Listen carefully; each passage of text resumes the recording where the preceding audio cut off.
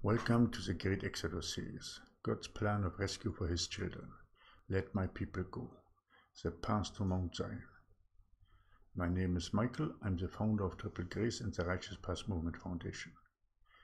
And our topic today is why don't we see any miracles or wonders anymore? Have you asked yourself why the churches do not see miracles and wonders? Have you understood that most mega churches that claim that miracles are happening are faking them? Why is it that the Lord and the Holy Spirit is not giving us miracles and wonders anymore? Have you asked yourself that question? It is because we do not walk His ways. We are not walking the narrow path but we are walking on the right or on the left of it. But the wonders and miracles are only coming for the people who are walking the narrow path. Now, if you compare the situation of the churches today with the situation of the first Christian followers, then you have to ask yourself a few questions.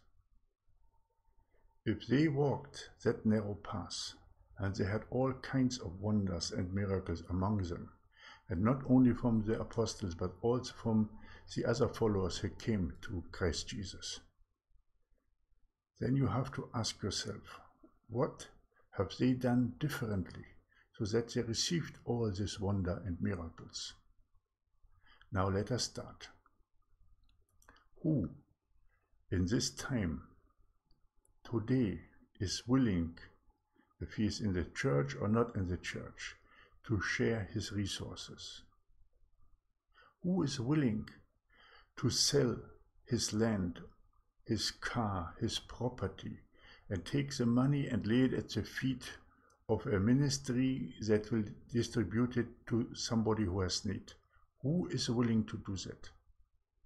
In the old times, the first followers did that every day. All who had access sold what they had and laid it at the feet of the apostles. Today, nobody would do that. So you're not walking that path. Then they had all in common. Nowadays, you are a member of a church, but you have nothing in common with the church.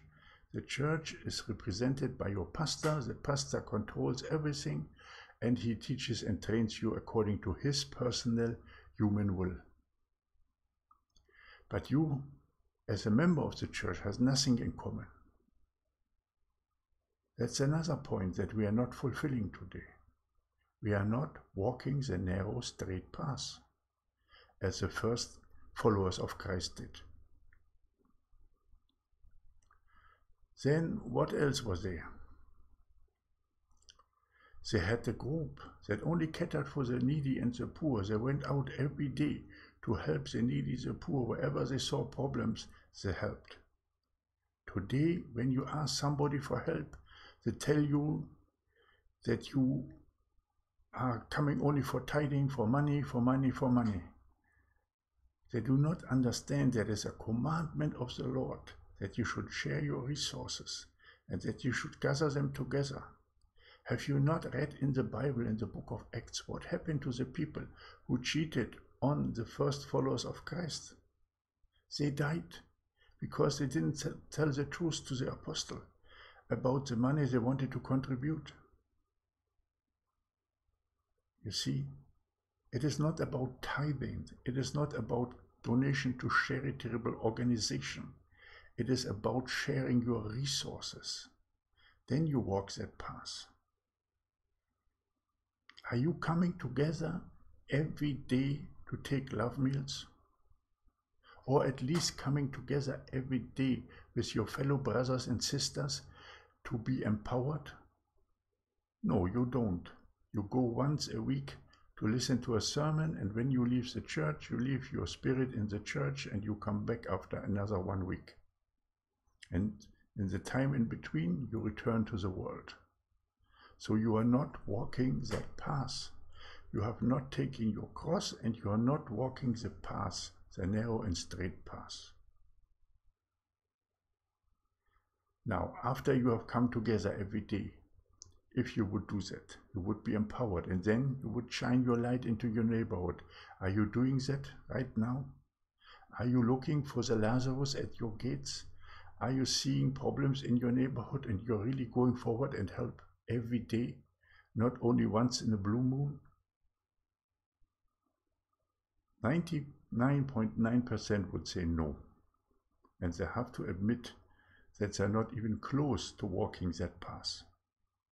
They have never taken their cross. To walk this path, this narrow and straight path, is not to learn Bible verses of it, and is not only to pray, but is also to come together in unity and in love and in support, in support for one another and in support of the needy and the nameless and faceless. Jesus has told you, take your cross and follow me. What did Jesus do? Every day he went out teaching the masses, empowering them, and shone his light into his neighborhood wherever he was. He was going for the poor, the lost sheep every day. Our churches and the believers that claim to be Christians are very far away from what was there before in, in the time of the first Christian followers. And that is the reason why we do not see any more miracles and wonders in our churches or in our Christian movement. Because we are not walking that path. We are not walking the path that the Lord wants us to walk. We walk to the right and we walk to the left. We walk either in prosperity or we walk in poverty. But we do not walk on the path that will give us the blessings so that we can receive the wonders and miracles. Now, triple grace is dedicated to restore that path and is dedicated to restore the altar to its former glory, what we have seen in the book of Acts. And you can be part of that. Every Society of the Rose of Triple Grace is a copy of the book of Acts, coming together daily, love meals, shining the light into the neighborhood, a daily sacrifice of love to lift up the needy, the poor, looking to help, sharing resources. All this is a society of the rose. And all the people who are dedicated themselves to this walking the path of our Lord and Savior Jesus Christ will be blessed by the Father and by Jesus himself. And miracles and wonders will follow them. So it is your choice either to walk on the right or on the left, or walk with us that path. And this path will also lead us to Mount Zion, where we will be raptured into paradise. Now, now you will ask, how can we do this? How can we walk this path? How can we closer? How can we understand what we are lacking? That's not very difficult. I will put a link in the first pin comment to our challenge of a pure heart. There you can compare yourself with the first Christian. What there's a list what they have done, and then you can look. Am I doing this? No, then I can change this one. Am I doing the next step? Not, I can change it until you walk the narrow and straight path. That is always the path in the middle. The path in balance and harmony with the heavenly realm and that is the reason why that path will produce wonders and miracles.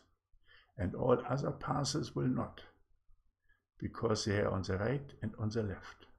So now please, I call you all from the right and from the left to join us to walk that middle path, the true path where we take our cross, where we share our resources, where we come together in love, unity, and support, where we support one another in any case of calamity, and where we get empowered through teaching and preaching of the word, and where we then shine our light into the neighborhood every day and winning souls for our Lord and Savior Jesus Christ. So come forward and join us. so that you can also receive again wonders and miracles in your life.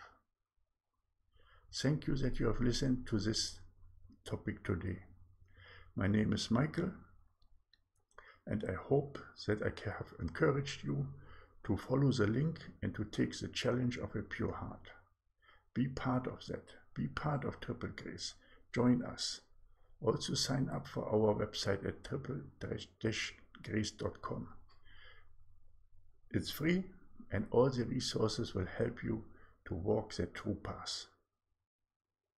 I love you all so dearly and I hope that many more brothers will join us and sisters, of course. And I will see you again tomorrow for the next topic. May God bless you and your family abundantly. Have a great day. Maranatha.